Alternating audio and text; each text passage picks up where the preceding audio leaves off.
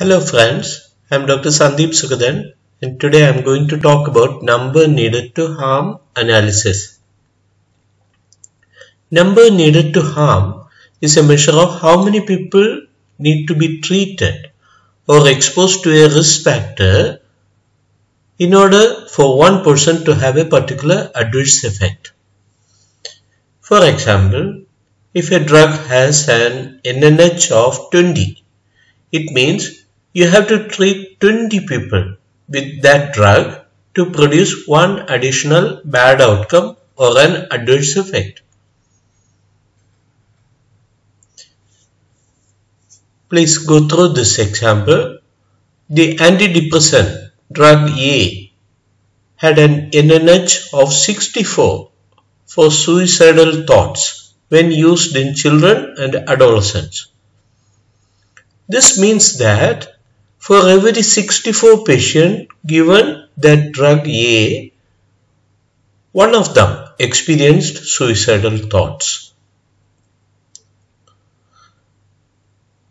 The lower the NNH, the more risk of harm. An NNH of 1 means what? It would mean that every patient treated is getting harmed. NNH can be used to help us choose between two treatment option or two intervention.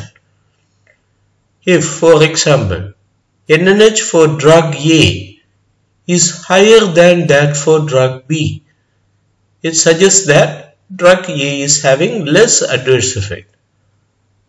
More number of people needed to be treated with drug A to produce an adverse effect. Now we can see how to calculate numbers needed to harm.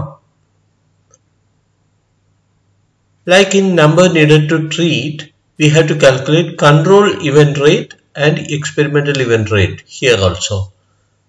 Control event rate is the rate of adverse event or harm among controls. Please see the example.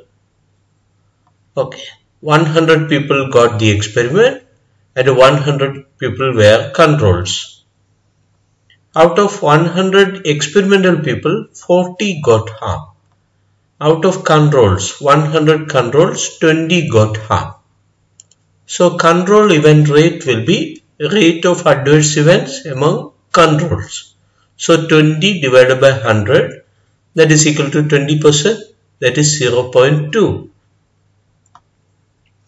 Experimental event rate is the rate of adverse event or harm among experimental group. In this example, out of 100 who, who were in experimental group, 40 got harm or adverse event. So, experimental event rate is 40 out of 100 is equal to 40% that is equal to 0.4. Now we have to calculate absolute risk in increase.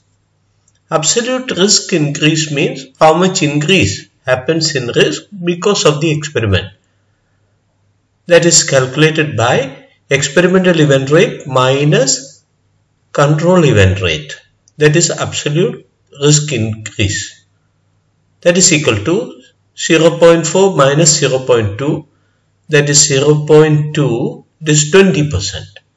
There is 20% increase in experimental event rate because of experiment. Relative risk increase that is calculated by the formula experimental event rate minus control event rate divided by control event rate that is equal to 0.4 minus 0.2 divided by 0.2 that is equal to 0.2 divided by 0.2 that is 1.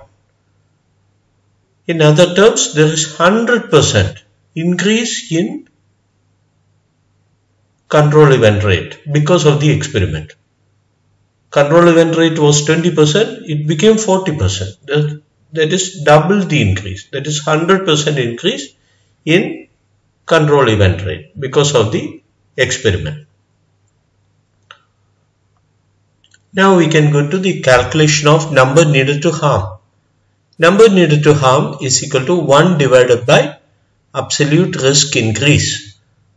That is 1 divided by 0.2. That is 5. How to interpret number needed to harm?